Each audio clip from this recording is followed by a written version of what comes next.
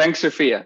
Uh, so good morning, afternoon, everyone. Uh, I'm going to start sharing my screen. So I hope that works because now I can't see Zoom anymore. Oh, I can still see Zoom. Can you give me a thumbs up, Sophia, if you can see my slides? I can see, yes. Perfect. Uh, then uh, let me get rid of these floating meeting controls.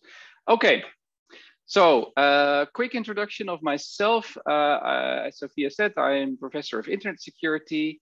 Um, I think for a little bit of context, I had prior roles in industry. Uh, and I spent uh, more than a decade working for the National Research and Education Network in the Netherlands called SURFnet. Uh, and I have more than two decades of experience with the domain name system. Um, and I'm very interested in DNSSEC operations research. It's one of the topics that, um, that my research covers. Um, I am not a cryptographer, but I do use a lot of cryptography. So um, if you start throwing math at me, I will probably have this really blank look on my face. Um, but uh, I do know uh, quite a bit about applying crypto in different uh, applications. Um, now, if you hear barking while I'm giving this presentation, it's because of this young lady who is currently uh, in this position under my desk. So uh, uh, if the mailman delivers something, you may have a slight disruption during the presentation. So bear with me, please. Good. Uh, with that, uh, I would like to briefly give an overview of what I will be talking about today. Um, I will give you a quick primer on DNS and DNSSEC so you, you know actually what we're talking about in the protocol and the role that crypto plays in it. Um, then I will spend quite a bit of time talking about the problematic history of uh, DNSSEC and transport. Uh, and when I say transport, I mean transport of DNS information over the internet. Um, I will, of course, be talking about how we solve these problems in the community. Um, I spent a little bit of time talking about what, what we called DNS Flag Day, which was last year. Uh, and then I'll zoom in on uh, post-quantum crypto and DNSSEC and, and basically talk about that. Uh, and we'll finish with time for uh, questions and answers. Um, and if you have questions in the meantime, I, I can actually see the, what's it called, Zulip. So um, if you ask your questions on the, on the Zulip thing, uh, I will try to answer them during the presentation. So let's start with a quick primer, the domain name system. For those of you uh, uh, who are less familiar with uh, internet operations, you use the domain name system every day. Uh, I hope you realize this. And the main reason for using the DNS is to translate human readable names to machine readable information. And the most common use is the mapping of names to IP addresses. And on the slide, you see a screenshot from my uh, terminal where I uh, give the command dig for example.org and it tells me uh, in the answer section further down that the IP address for example.org is something starting with 93 dot and then something else. So that is actually something that we use the DNS for on a day-to-day basis. And without the DNS, there is no internet, right? So next to IP, I would argue that DNS is the most important infrastructure on the internet because it allows us to uh, use human readable information rather than machine readable information to access the internet. Um, DNS, as, as, most of you will know, is organized as a hierarchical namespace. And uh, the reason I'm stressing this again is that DNSSEC also uses this hierarchy um, the uh, uh, at the at the top we have the the root of the DNS, uh, and below that we have the so-called top-level domains, uh, things like com, net, nl that you may be familiar with. And uh, if we go further down, we have second-level domains and third-level domains, and so on and so forth. In DNS, you can generally identify three roles. We have uh, clients, which is you on your mobile phone or on your laptop or whatever. We have recursive caching name servers, which are colloquially known as DNS resolvers, and we have authoritative name servers. Um, in this talk, I won't be talking about clients at all because even though the pipe dream in the IETF is that everybody will do endpoint DNSSEC validation someday, that is far from the case today, right? DNSSEC validation now happens on DNS resolvers and clients simply rely on the fact that resolvers do this for you.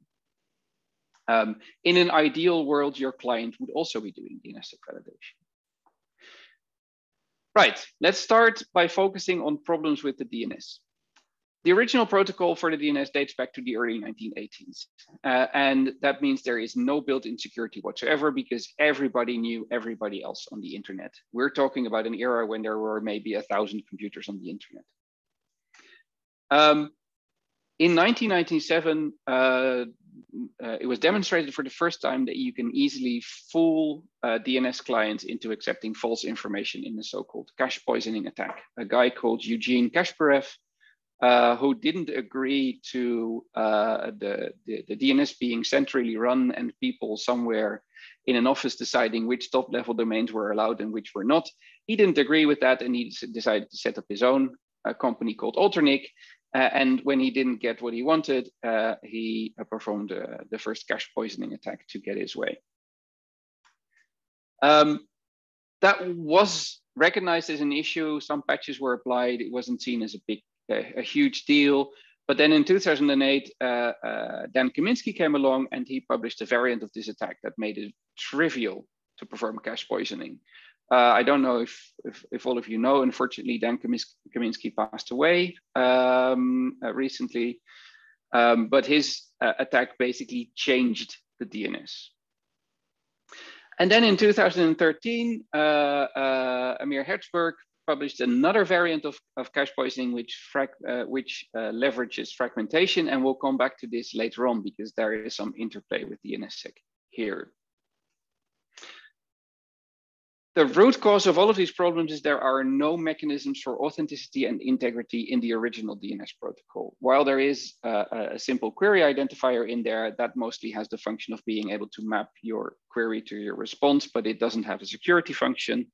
And there simply isn't enough information in DNS packets to authenticate them. Right, so that meant we needed something else. Uh, and for this, we have DNSSEC. The goal of DNSSEC is to add authenticity and integrity to the DNS. Um, but note that it does not add confidentiality. That was never uh, a goal, and we have other protocols to add confidentiality to the DNS. Um, it adds additional so-called resource records, and I'll show you an example of that in the, in the next couple of slides, uh, to the DNS. Uh, uh, and we have one research rec record for uh, signatures, which we call RRSIG, and one for public keys, which we call DNS key. Um, in most cases, you will find that signing is typically done offline. So the entire DNS zone is signed in one go. But there are cases where this is done online, for example, in content delivery networks that use DNS for load balancing and, uh, uh, and use that for local content cache selection. And for example, uh, Bas and Sophia work for Cloudflare. They do online signing most of the time. So they're one of the exceptions. Um, in DNSSEC, there is a single root of trust, the DNS root zone, and we validate uh, signatures along this chain of trust, and I'll explain that in a separate slide later on. Okay, so let's look at uh, how DNSSEC changes the protocol. Um, this is a, a, very, very simple DNS zone uh, for a domain uh, that I called uh, example.com. And what you see in here are all the different types of uh, uh, resource records that such a a zone might uh, might have. There is a there's an A record for IP uh, IPv4 addresses. There's a quad A record for IPv6 addresses. There are some NS records which tell you uh, the name servers for this particular domain, and so on and so forth. Um, one takeaway from uh, this particular example is that you can see that there are sets of resource records that are uh, coherent. So they are for the same name. So they're different mappings for the same name, and they form a set. So in this example, on lines four and five, you see the NS records for uh, this particular zone, and they together they form a, a, single resource record set. Why is that important? If we DNSSEC sign a zone, um, we sign resource record sets. We don't sign individual records. So uh, what you can see here, uh, I marked them in yellow, are the signatures that were added to sign this zone. Uh, and what you can see, for example, uh, on line seven is a signature that covers uh, the two records uh, that form a set on lines five and six. And of course, if there's only a single record, then the signature will cover that single record. Uh, something else that we need to add to the zone is the set of public keys that we uh, that belong to the private keys that were used to sign this zone, because otherwise we cannot validate the signatures. Now, obviously, anybody can put their keys in a zone and then pretend that they have signed it. Of course, that doesn't work. We need some mechanism for this uh, uh, trust, for trust to be invested in those keys. Uh, and in uh, uh, DNSSEC, we do this along a chain of trust all the way from the root of the DNS. Um, and this might be a lot to take in. I hope you can read this slide. Uh, on the left-hand side, you see all the way at the top a trust anchor. That is the uh, key signing key, the, the, the public key signing key of the root of the DNS. This is configured uh, on a DNS resolver. So this is a thing that you configure and you set it and it changes only very occasionally. So the last time it was rolled over was in 2018. Um, and they're currently planning another rollover, but that will be some time to come. Um, and that root uh, key then uh, signs the, the root zone and the root zone contains uh, a so-called uh, DS, delegation signer record, is the little uh, gray icon for uh, the top level domain that your domain is in, in this case .nl. Uh, then .nl has this whole shebang again. It has uh, a public key um, uh, and a private key that are used to sign the key set, then a key that is used to sign the zone.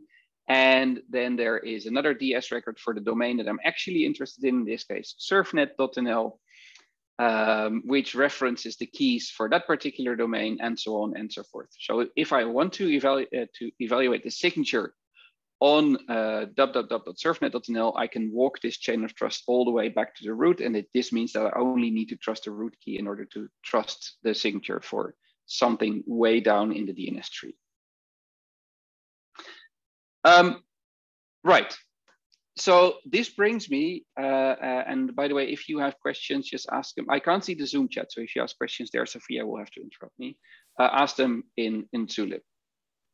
So DNSSEC transport, um, the original DNS specification allows a maximum message size of 512 bytes. And that was way too small for DNSSEC because we need to um, uh, store keys and signatures in responses.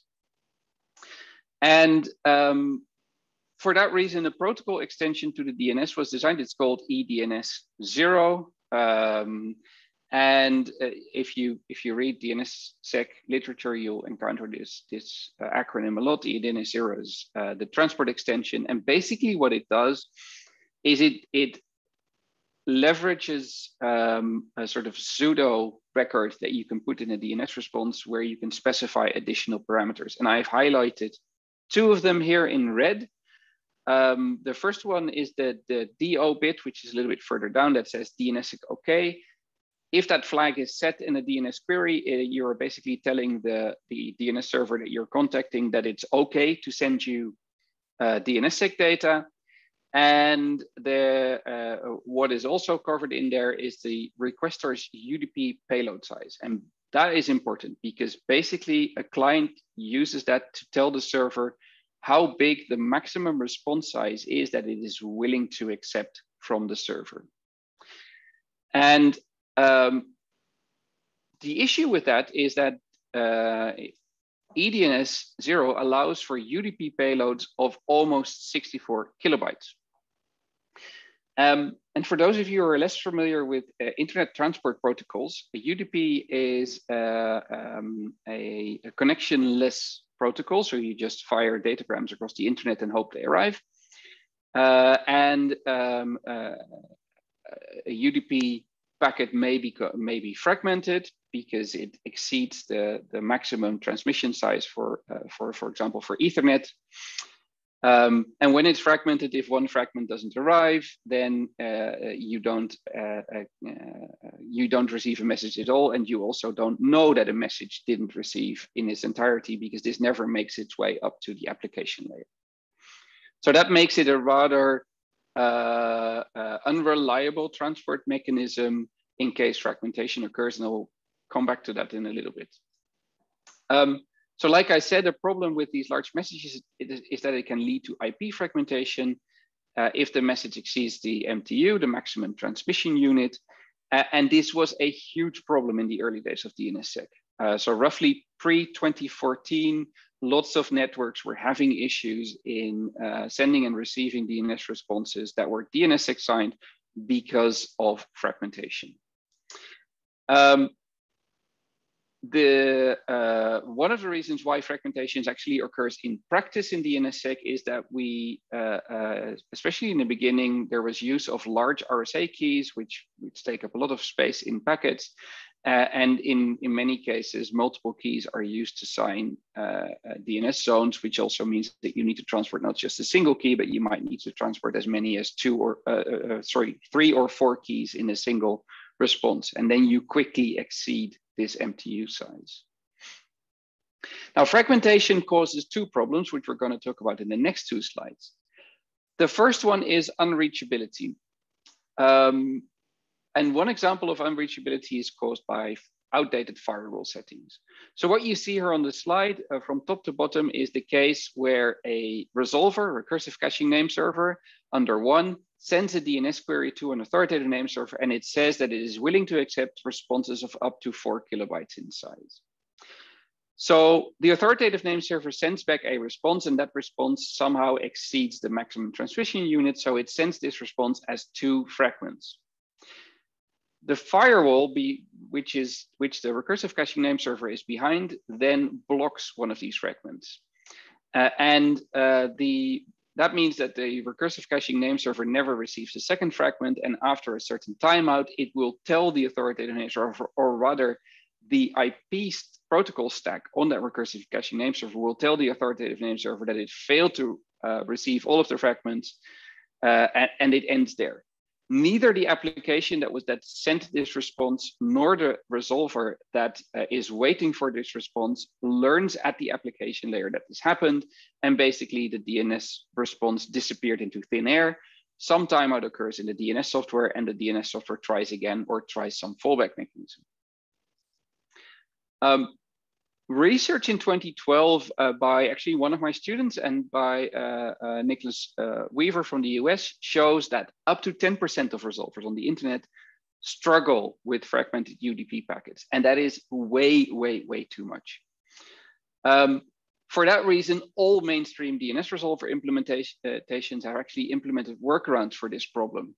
Um, so if they don't receive a response from an authoritative name server within a certain amount of time, they will actually retry with different eDNS parameters uh, to prevent fragmentation. Um, and actually, as a consequence of this research, the uh, eDNS zero specification was changed and uh, people were told, maybe you shouldn't be asking for responses that exceed the MTU by default because before that change, the default setting was to ask for responses up to four kilobytes in size. Okay. Um, the other problem is uh, Herzberg fragment cache poisoning. Uh, and basically, this is an attack that was introduced in 2013, uh, and it leverages fragmentation for cache poisoning. Um, and I won't explain it in detail, but the intuition is the following. The first fragment of a DNS packet um, uh, somehow identifies the, the, the, DNS response because it contains the query ID and it contains the, um, the, the, destination port on the client where the response is sent to. Uh, and these two uh, combined uh, actually do introduce some entropy into uh, um, DNS exchanges, uh, 32 bits to be precise. So if you want to perform a Kaminsky style cache poisoning attack, you basically need to guess the source port and the, the query ID. But in this attack, you don't have to guess those anymore because what you do is you don't poison the first fragment, which is actually identifiable, but you poison the second fragment, which contains no identification whatsoever. Um, and let me see if this works. Yes. So you put the records that you want to poison in second or later fragments, and those will just get accepted by the DNS resolver. And the irony of this is that DNSSEC's large responses help facilitate this attack. Of course, it only works against non-DNSSEC validating resolvers, right? Because if you poison something in a signed response, the signature validation will fail and you won't accept that response. However, if you run a DNS resolver and it does not do DNSSEC validation, then uh, uh, these responses will just be accepted. Um, so that is an issue. As a consequence, the DNS community really wants to avoid fragmentation because this is a huge issue. And for that, we use three strategies. The first strategy is to strip optional records from responses. This may have some consequences for performance. I'll show you a little bit more detail in the next slide. The second option is to use different cryptographic algorithms, for example, elliptic curve cryptography, because then you have smaller keys and smaller signatures, uh, which means that you're less likely to exceed this maximum message size.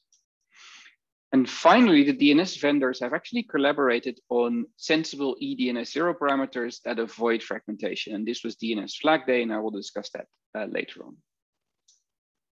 So let's look at stripping optional records.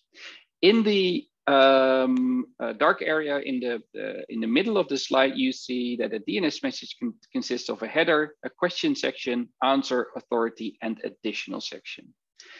In many DNS packets, the authority and additional section are actually optional. So they are included as a convenience for DNS resolvers, um, but they are not a necessity in most messages in the protocol. In some messages, they're crucial, but in most messages, they are optional. Um, and because they are optional, stripping them reduces fragmentation significantly because it removes extra records, but it also removes any signatures over those extra records. So you can really reduce message sizes by, by turning on what is called minimal responses. And to show you what that does, I included a, a graph. This is from um, an authoritative name server that I used to be responsible for. Uh, and I hope you can clearly see the point where we turned uh, minimal responses on in week two of 2013, where you can see the average message size dropping from around uh, um, 900 bytes to roughly 180 bytes. That was a huge drop. But there, I want to stress there is a performance impact and it's actually not well understood because some of the uh, the information that is passed in, in additional and authority sections is used by DNS resolvers. Uh, and they now have to fetch this information separately, or they might make different decisions on which name server to contact for domains, for example. Okay, the second thing that we did was to advocate switching to uh, elliptic curve crypto. The original DNSSEC specifications assumed the use of RSA and only RSA. Uh, and ECC wasn't actually standardized for DNSSEC until 2012. Uh, and what you see on the slide here is the impact of switching to signing with uh, elliptic curve crypto. The dark line towards the right of the plot is uh, um, uh, the CDF, or actually the top part of a CDF of DNS uh, responses for domains that are signed with RSA. Uh, and this is uh, based on actual traffic recorded on a DNS uh, resolver.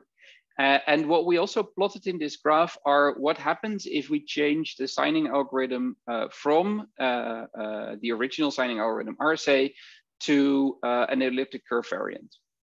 And the takeaway from this plot is that all of the elliptic curve variants uh, actually result in 100% of the DNS responses that this particular resolver saw being smaller than the MTU for IPv6, which is 1280 bytes.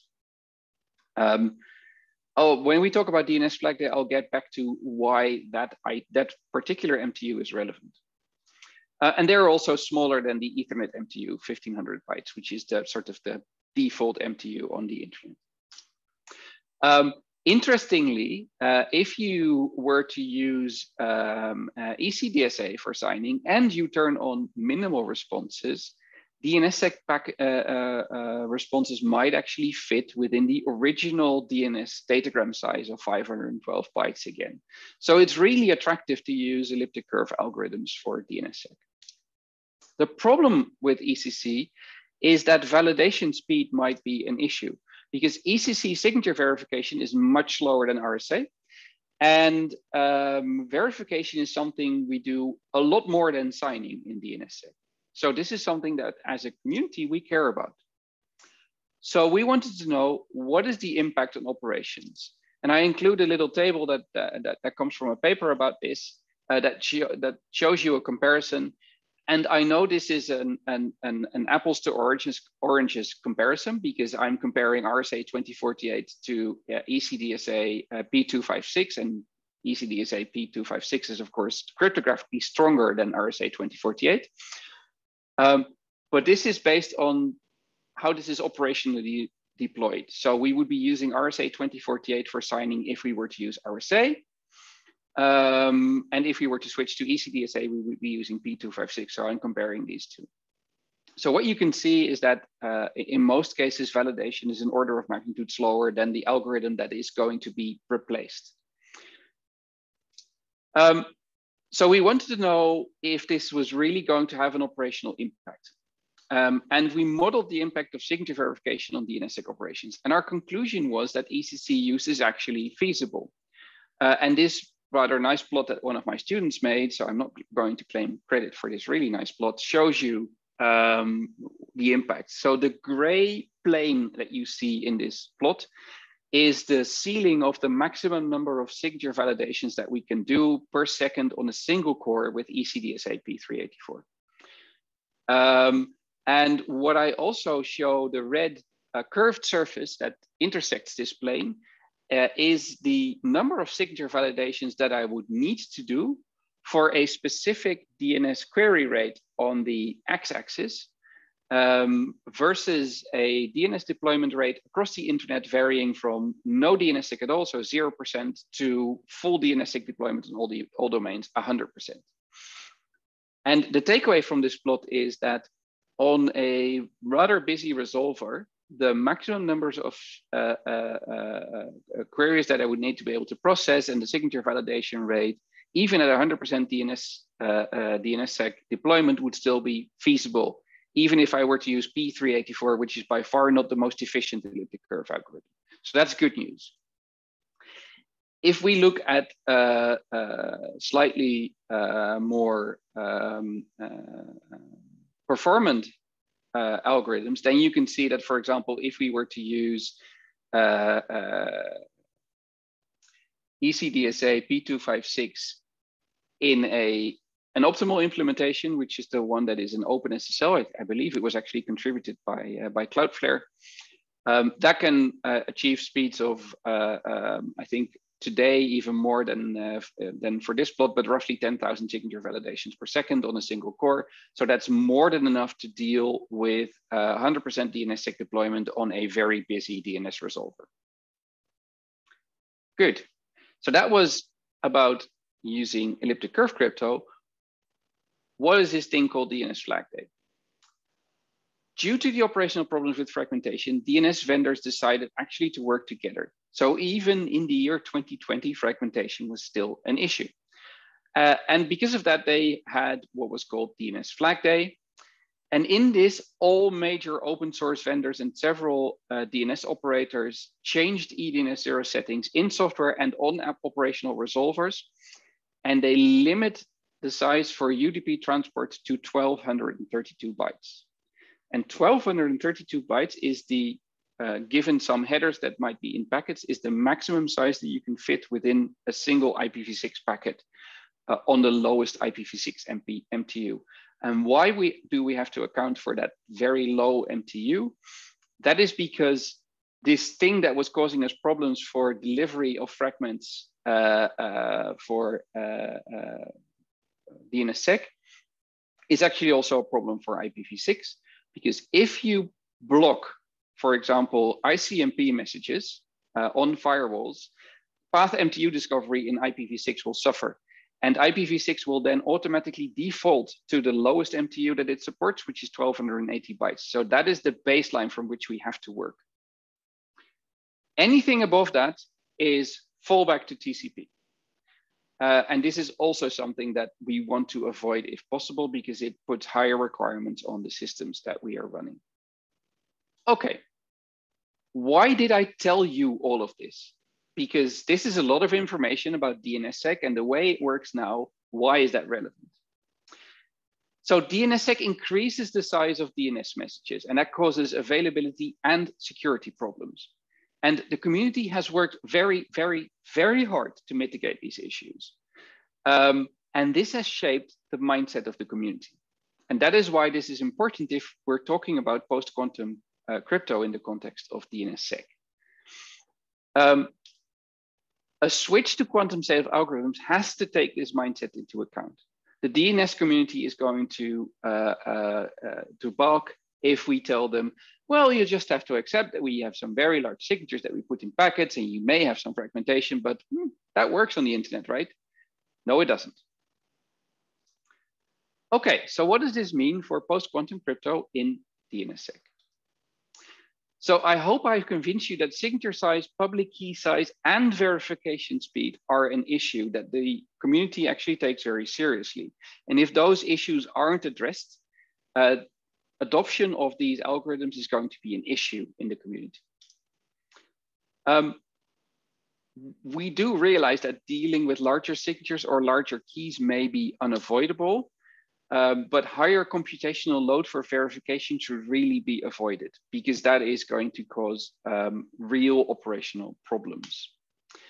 Um, we also want to balance out any changes in favor of a lower workload for DNS resolvers. The workhorses of the DNS are the DNS resolvers. The authoritative name servers can deal with a little bit of extra work. They typically uh, serve far fewer queries per second than a typical DNS resolver. So I'm going to talk about some green, orange, and red lines uh, that we have for uh, uh, post-quantum algorithms in general for use in DNSSEC. The first one I want to talk about is signature size. Ideal signature sizes are smaller than RSA 2048-bit signature, so that's less than 256 bytes for a signature. Uh, why is that? Well, we know that today's internet still uses a lot of RSA 2048 in the DNSSEC, and that is absolutely fine, provided you use minimal responses and that you don't use an absurd number of keys in your zone. Um, smaller than or equal to RSA 4096 is probably something we can still deal with, provided there aren't too many signatures in a single DNS packet. Anything larger than that is a no-go uh, because it will just cause so many problems for a DNS transport uh, that we seriously have to rethink the whole protocol. Public key size, again, uh, similar story. Um, for keys that are, um, so anything between 4096 and maybe one megabyte, and this is, I put an asterisk there because I just pulled that number out of the air, right? Um, anything larger causes uh, problems, but we might be willing to deal with that uh, under certain conditions, and I'll get back to that in a minute. Signing speed. Again, uh, ideally, um, it's, uh, it's somewhere near uh, RSA 2048. Um, a little bit slower might be acceptable. Um, more than 50 milliseconds per signature uh, is probably not okay um, because of the sheer number of signatures that you need to create, for example, to sign something like a top level domain. So let's take a modest size top level domain like .nl. You would have to create in the order of 14 million signatures to sign that entire zone. Um, if you uh, uh, have signing speeds of more than 50 milliseconds per signature, that's going to be an issue because a new .nl zone is published once every 30 minutes, and we can't make that deadline if we exceed this signing speed. Um, validation speed, um, ideally uh, around about the performance of ECDSA P256. Um, P384 is probably still also acceptable, uh, so an equivalent speed. Um, anything slower than ECDSA P384, if you think back to that um, graph I showed you, that's going to be an issue because as soon as DNSSEC deployment grows, we are going to get into a situation where we uh, uh, where a resolver won't be able to validate signatures on time to deliver responses. Now, maybe a few other uh, uh restrictions.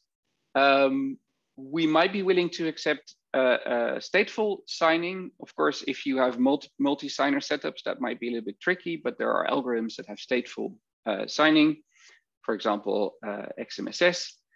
Uh, what is a no-go is that you need special hardware in order to be able to sign um, because uh, DNSSEC in general is does not rely on the use of HSMs. Um, we only see those in, uh, for example, top-level domain operations, but a typical zo uh, uh, organization that signs their zones will just do this with software. Okay, so I want to talk a little bit about a study that uh, one of my PhD uh, uh, candidates did. Actually, he uh, graduated last Friday, so I shall now call him Dr. Moritz. Uh, a study that uh, he did where we looked at the round three entries for the NIST competition. And basically, we had the following four priorities. We wanted the signature size to be smaller than 12, 32 bytes. So that's actually a rather conservative uh, approach that we're willing to accept that. Um, validation speed, more than a thousand signatures per second. So that's a little bit slower than uh, we can do for uh, P384. Uh, key size, ideally less than 64 kilobytes, so we can put it in a single DNS message, even if we need to transmit it over TCP. But we might conditionally accept larger keys if that means some of the other priorities are met uh, and signing speed more than 100 signatures per second. So that's uh, 10 milliseconds per signature. Um, and basically, if you then look at the round three algorithms, there are three uh, algorithms that are suitable. The only one that could potentially be a drop-in replacement is Falcon. Um, but as you can see, I hope you can read this, but as you can see, the public key for that and the signature size for that are rather unattractive.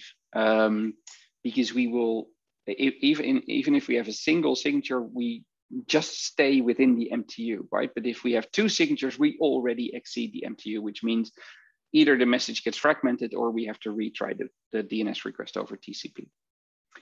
Um, Rainbow and RedGeMSS are very attractive from the perspective of signature size, um, which is why we might actually be willing to uh, consider these uh, but they have very large public key sizes. And the concrete problem with that is that you cannot transport these keys in any DNS message because 64 kilobytes is the maximum limit for a DNS message.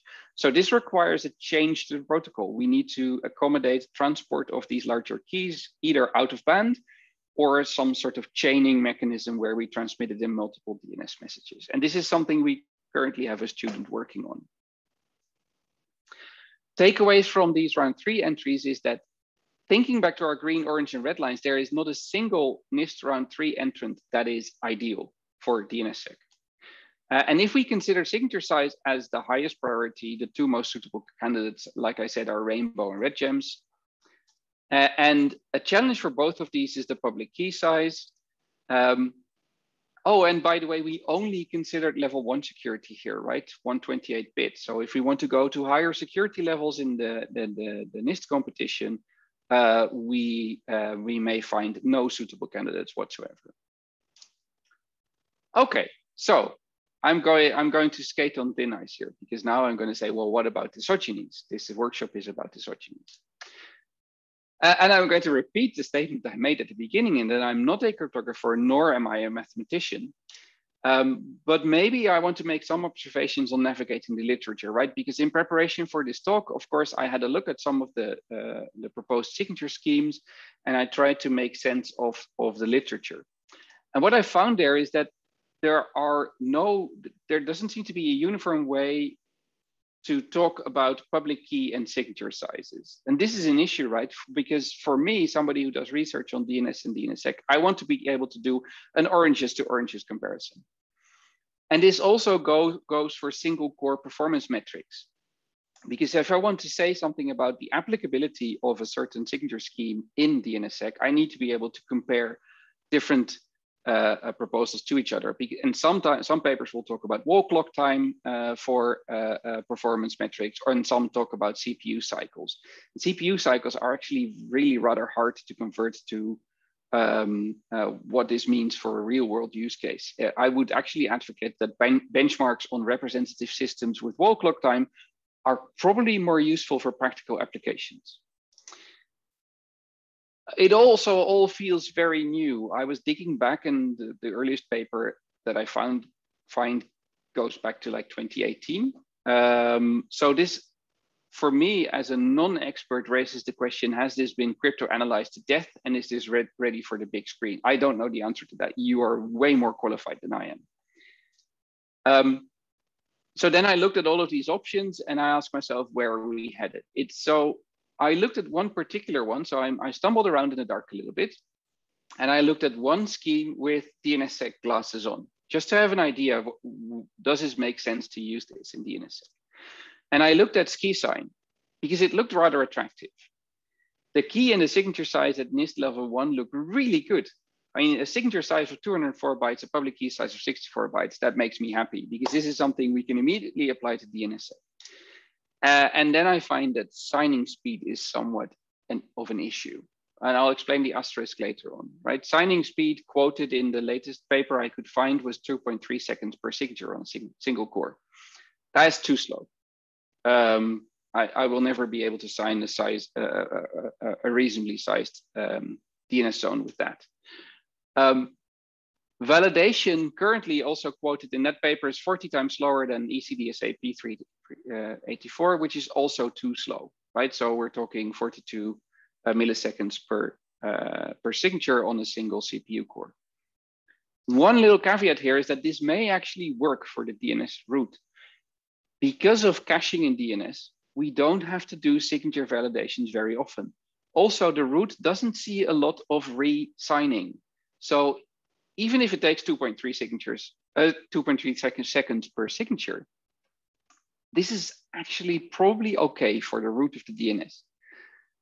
But an algorithm that we can only use for the root uh, is not very helpful because we want to be able to use uh, this algorithm at all levels of the DNS where we have way more signatures that we need to create and validate.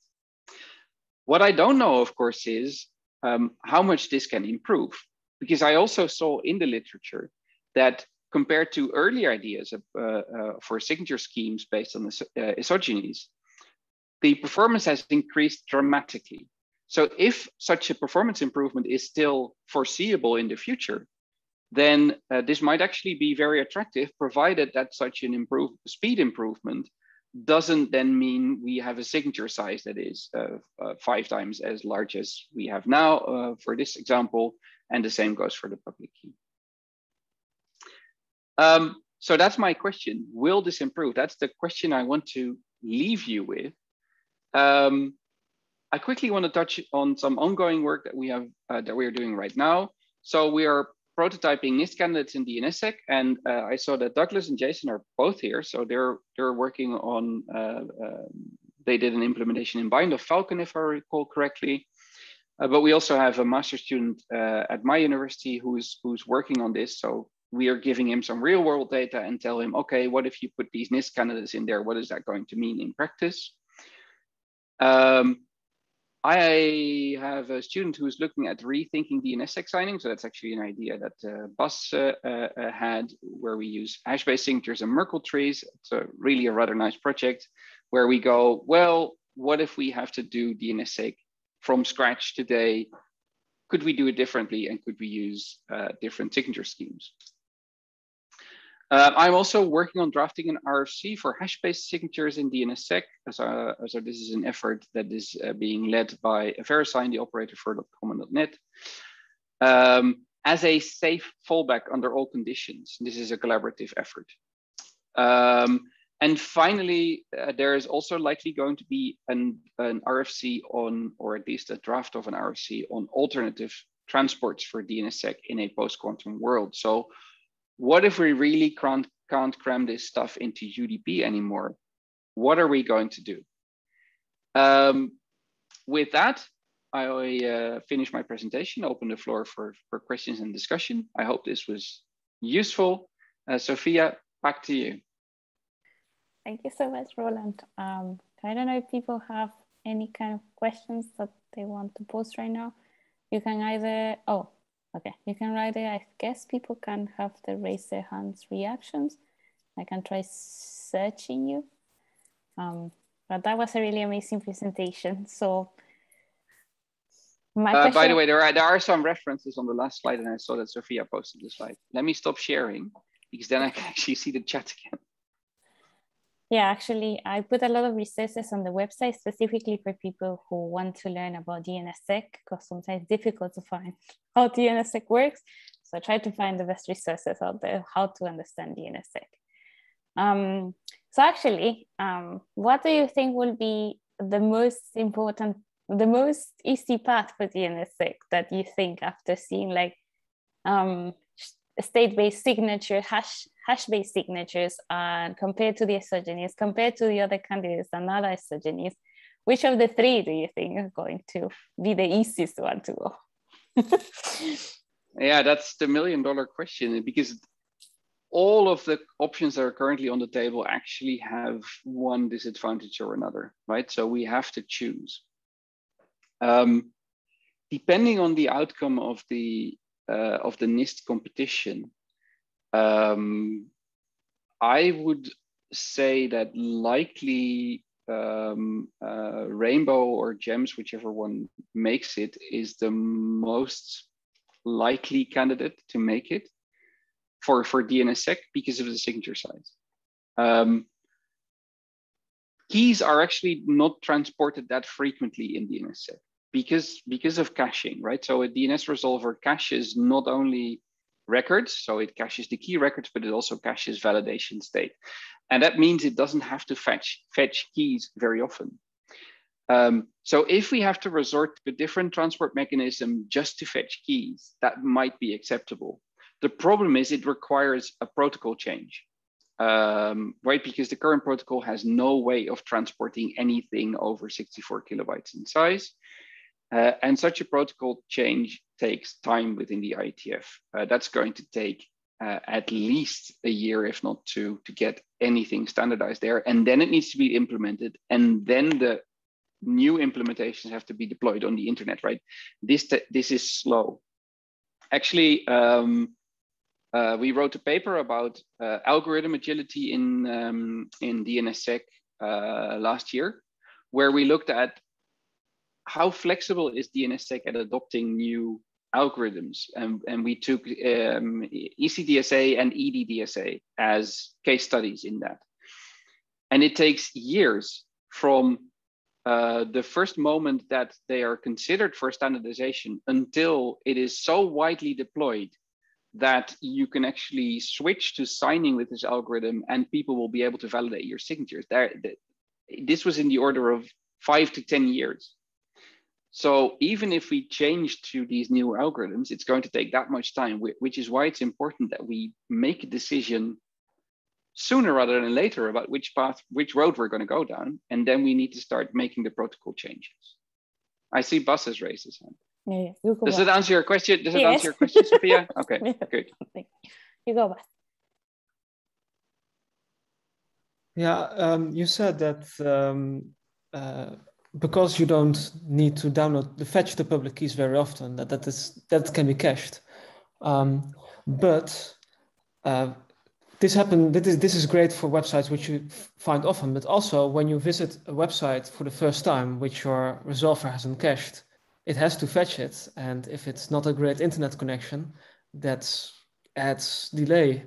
Uh, and if if the uh, the keys are uh, public keys are a megabyte okay uh, 200 kilobytes then how many can you can you can you store on on, on the little the, the thing that does the resolving yeah yeah so if you're if it's your isp's resolver you're probably fine if it's the raspberry pi that sits in your utility cabinet it might be a little bit more of a challenge but um, so I actually I have looked at this in the past, like how much information do we cache? On a DNSSEC validating resolver, how many keys do we cache? How many signatures do we cache?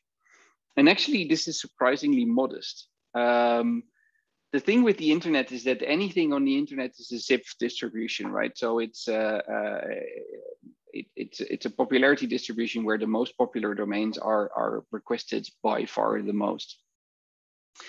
Um, and that means that the, the, the, the, maximum number of keys that you need to store in a cache is actually rather modest. Um, so that's the, the, the good news. Um, the bad news, of course, is that yes, transporting anything that, that is over a certain size is going to take time. Uh, and this is going to impact your um, uh, time to first byte if you're accessing a website for the first time. Um, generally speaking, if you look at uh, the impact of DNS res resolution on web browsing, to take a to take a concrete use case, then it's in the order of 10% of the time in a web or spent on a web page fetch is waiting for um, uh, DNS responses. And that, that's a, from a study from about five years ago. So maybe that situation has improved a little bit, um, but then uh, web pages have, uh, are becoming ever more complex, which means you have to do more DNS queries. So this will probably keep pace somehow. Um, if you add some time to that, it's going to impact your your rendering time, but it's probably not going to be that dramatic unless you are on a really poor connection. And since we're not doing validation on endpoints, right, this change, this picture, of course, completely changes as soon as you start doing validation on endpoints. So let's say I have my mobile phone here. If I'm going to do validation on this, uh, I have a challenge because I have to transport all that key material over the cellular, uh, cellular network uh, which in the Netherlands is rather reliable. But as soon as I cross the border into Germany, I'm back on edge. Uh, and uh, yeah, that's never going to work.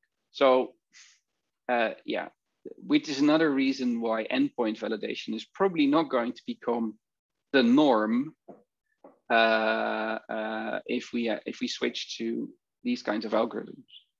Does that answer your question, Bas? I see a question in the chat and I'm going to repeat it for the audience. So Andrea, you can also unmute yourself if you want to ask it yourself. I mean, I don't mind. Or if you don't want to speak.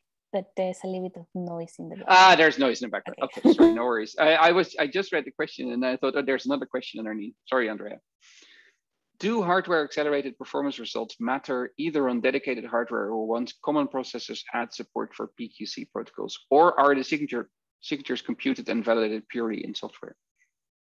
Um, so that's a that's a good question. So um, if you, I, I, will break that down into two categories. So um, there are DNS.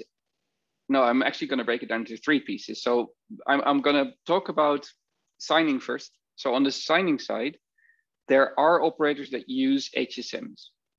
Um, so if some sort of acceleration for PQC algorithms becomes available in HSMs, they will leverage this. However, the vast majority of signers will do so purely in software, in which case they might only benefit if mainstream CPUs um, add extra instructions to accelerate parts of PQC algorithms. Whether or not that is uh, feasible, I'm not enough of an expert to answer that question. There are people that know much better than I do uh, whether that's possible or not. Um, if I think, for example, about Falcon, I seem to remember that that requires, for example, floating point computations to do uh, um, to create signatures. So that might be challenging. Um, on the verif verifier side, um, a resolver is already, so, okay, if you are an ISP, a resolver is a cost center because it's something you need to operate for your users to be able to access the internet. The problem is if that cost center is down, your users can no longer access their internet and they're going to call your help desk. So this is a fine line that, that ISPs are walking. They want to deploy enough resolvers, but then they don't want they don't want to have an endless data center full of resolvers to deal with DNS queries, right? They, that it's it's something that has to work, but that they, they don't really care about. Um, so if they have to invest in special purpose hardware in order to do to speed up verification, that's not a road they're likely to go down because um, this is a cutthroat market. If they have to spend extra money to get dedicated hardware for that, that's not going to work. Again, if there are additional, uh, uh, um, if there are extensions to existing CPU architectures that speed up computation, that might be attractive. It might be attractive for them to say, well, if Intel or ARM or whoever adds instructions that makes this, that, that speeds up these algorithms, that might be both the reason to choose those algorithms for signing and the reason for um, operators to deploy those uh, com uh, computer architectures. I hope that answers your question. Uh, maybe you can type this in the chat. Uh, in the meantime, William has asked another question. Uh, is it feasible to do some sort of pre-computation for specific public keys since they change so rarely? Uh, that's a that's a good question. Um, so let me see if I understand this correctly. I think you're asking, can I do a lot of signing in advance if the key doesn't change very often, right? So if I, let, let's say I want to use SQISign, which has this horribly slow signature uh, creation uh, from the perspective of DNSSEC. Uh, keep researching, folks. Uh, but it is slow for DNSSEC, right? Let's say I wanted to use that and I want to start, I want to have my system generate signatures constantly so that I have like this reservoir of signatures that I can use apart from the security perspective where I might not want to have lots of signatures lying around that are valid in, in, in, to eternity, um, it might actually work for certain DNS zones. Again, for the root, which doesn't change very often, this is actually entirely feasible. What you have to think of is that the root of the DNS, the only thing that changes in there on a, uh, on a regular basis are the signatures because signatures have a limited lifetime and they need to be renewed every once in a while. But changes to the root, so for example, a new DS record for a new signing key for a top level domain, or a change in uh, name servers for a top level domain, that is actually rare. There are um, very few of these events. For this algorithm agility paper, we actually looked at key rollovers for top level domains in the root zone and those were pretty rare. I mean, there are, are there a handful a year. Um, if there's a change to a DNS zone, you need new signatures, right? Because the record set changes. Um, so yeah, that might be feasible. Uh, but again, probably only for the root, or if you are, let's say you are um, a hosting provider and you operate lots of small DNS zones. Let's say you are um, uh, GoDaddy uh, who has uh, the, the, biggest uh, uh, domain name registrar in the world, right? They have 50 million odd domain names or something that they manage in their portfolio. But most of those are mom and pop stores, right? They're the corner store that sells you fruit. Uh, and that corner store that still sells you fruit has a very simple DNS zone. It has an MX record that points the, the mail servers to GoDaddy, and it has an A record that points the IP address to GoDaddy's web servers, which run the website for, for this uh, mom and pop store. That zone never changes, right? So there you can pre-generate signatures. Does that answer your question, William? And just leave a comment on the chat. Uh, Says for DNSSEC batch signing is interesting. Yes, it is. If you can create multiple signatures at the same time, that is indeed great because if you can use that to speed up, that will be helpful if you can do some sort of parallelization. Yes. Still, you would need to do a lot of parallelization to, to get away from 2.3 signatures. William says, I was thinking more about verification, some sort of pre-computed data in your cache, since I wonder how well your problem. Optimizing for verification of a few public keys. Ha! That's a nice question, right? Because this is actually something that Bas and I have been discussing for, for this hash-based scheme, where basically what the like the, the high level idea of that is that rather than signing each and every individual record in the zone, you use Merkle authentication trees for the individual records in the zone, and then you only sign the top of that Merkle tree. And this allows you to do two very nice things. First of all, it reduces the number of signature validations that you have to do because once you validate that root element, computing the uh, authentication path through the Merkle tree is actually rather cheap um, and fast. Um, and the other thing that you can do there is that you can group records, popular records that are requested a lot. If you group them in a single Merkle tree, then you get even more of a reduction in validation requirements because in order to validate the, the sort of the authentication paths, you only need to do one signature verification for the top of that Merkle tree. So yes, this is something that we have thought about. Um, whether or not um, some pre-computation can happen. I'm, I'm not enough of an expert on crypto algorithms to, to say whether you could apply this in, in different settings. What you do have to realize is that validation state is cached. So once I've validated a signature once, then for the lifetime of that record, that validation suffices. I, uh, the resolver is not going to validate again until that record expires in the cache. And there are implementations that will actually check if the signature has changed. So what they will do is when they refetch the record, right, the, the, the, the, the record expires in the cache, they fetch it again. They just do a byte-wise comparison of the two signatures. If they're the same, the signature hasn't changed, hasn't changed, so you don't have to validate it again. So there are optimizations already in the software that do this. Does that answer your question, William?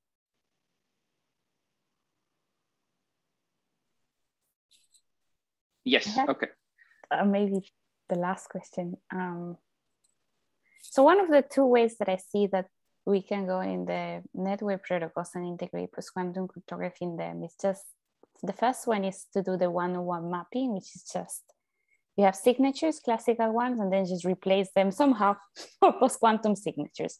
The second part is rather changing the protocol itself. And for example, in the case of TLS, achieving other ways um, to get to authentication that do not rely on signature because the post-quantum counterpart is really difficult.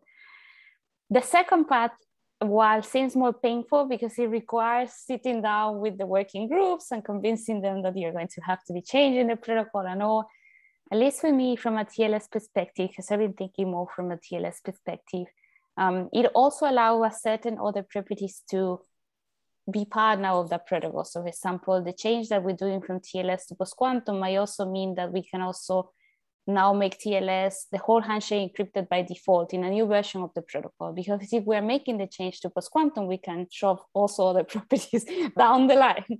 Um, a question that of course people had, and this is the controversial topic on DNSSEC, is if we can make it confidential, which is the property that some people will want.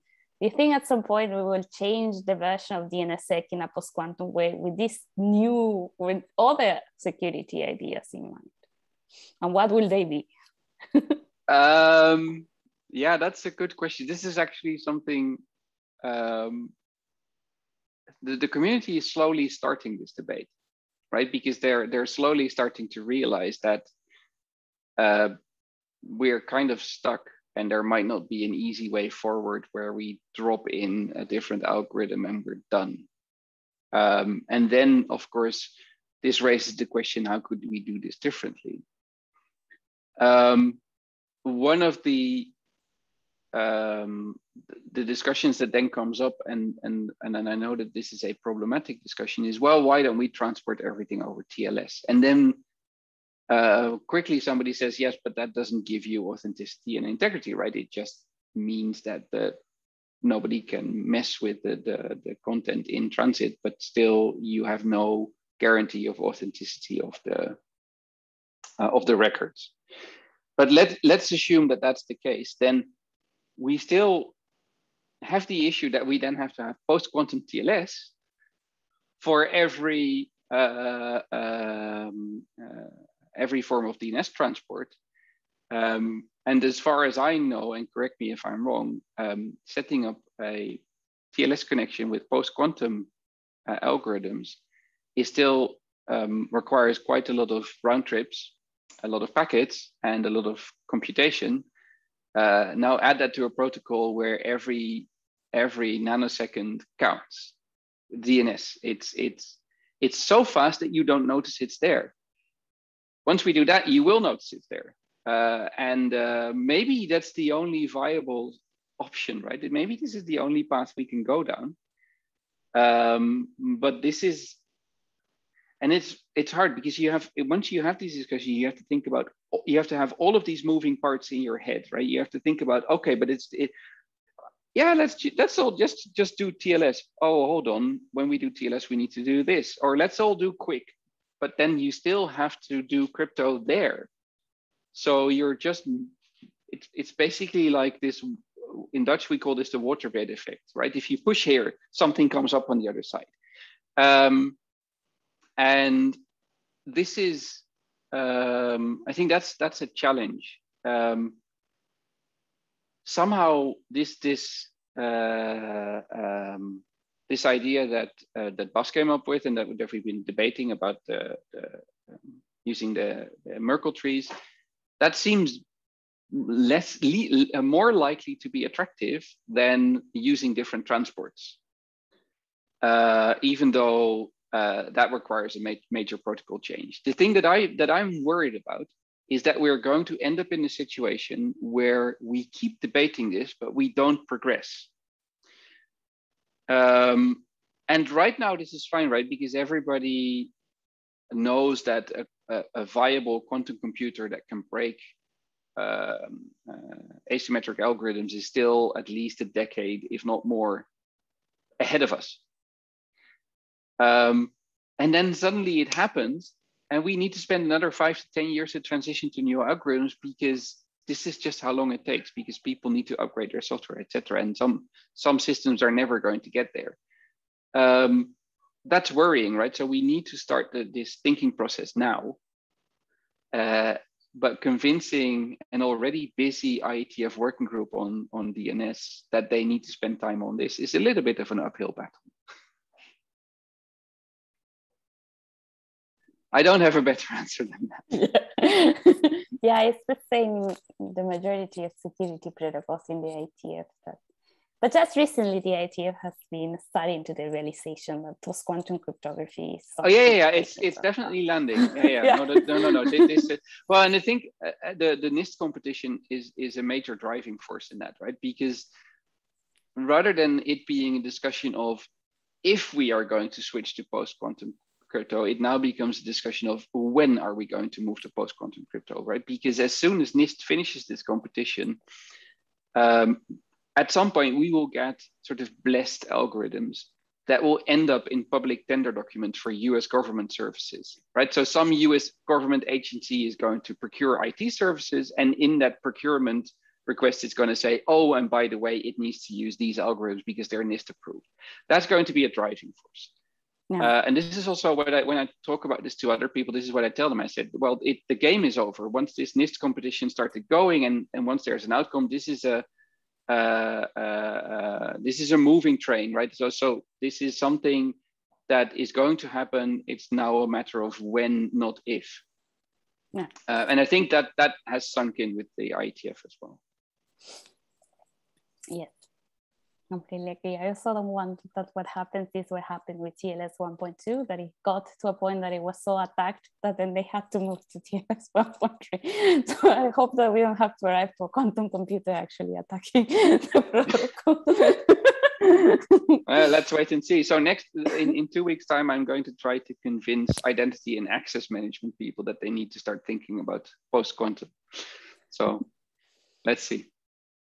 Okay, so I see no more questions, but you can always ask also more questions either in the Zulip chat later on if people want it. Um, I'll try to find an answer at the time. We find who can answer at that time. Um, if people want to socialize, there's the Wonder chat if people want to talk more.